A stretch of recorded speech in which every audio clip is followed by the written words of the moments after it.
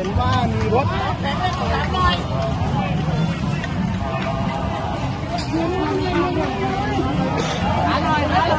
คำสั่งกำหนดเป็นพื้นที่ควบคุมสูงสุด และเช่นเมื่อ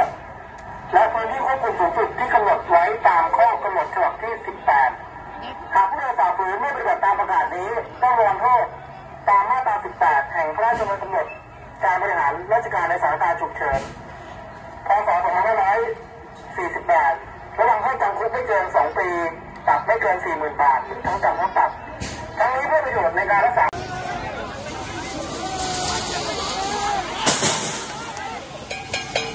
สามสี่โล